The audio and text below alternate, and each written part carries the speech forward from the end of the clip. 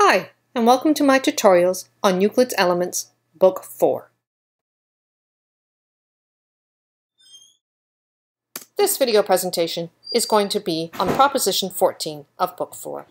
And in this proposition, we start with the pentagon, and we are going to draw a circle such that it passes through all the vertices of the pentagon.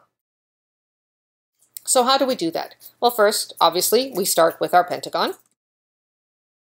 We bisect the angles C and D, and where the lines intersect, we label that point F. We draw a circle with F as the center and FC as the radius, and thus this circle passes through all the vertices of the pentagon. So, how do we prove that the circle actually passes through all the vertices of the pentagon? Well, let's take the point F and draw three lines to B, C, and D. Let's look at these two triangles. Now, BC is equal to CD, FC is common, and these two angles are equal because CF bisects the larger angle. So we have side, angle, side, side, angle, side. So these two triangles are equal in all respects, which means this angle right here is also equal to that angle, which is theta.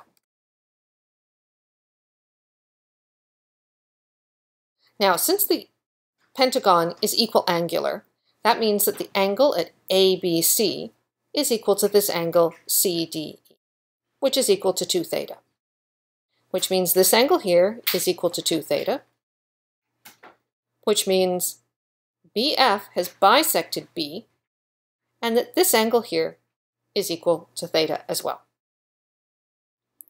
And using similar logic, we can demonstrate that all of these angles have been bisected by the lines joining from the vertex to the point F.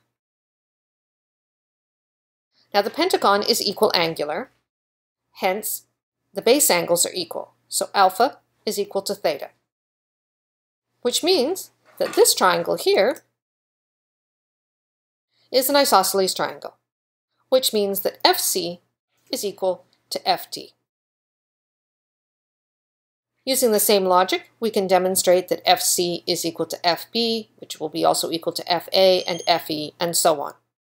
So all these lines are equal in length, and thus, if we draw a circle with F as the center, and any one of these lines as its radius, it will pass through all the points.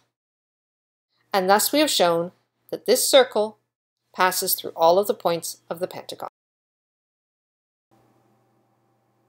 And that concludes this video presentation. To see the next presentation, just click the next button.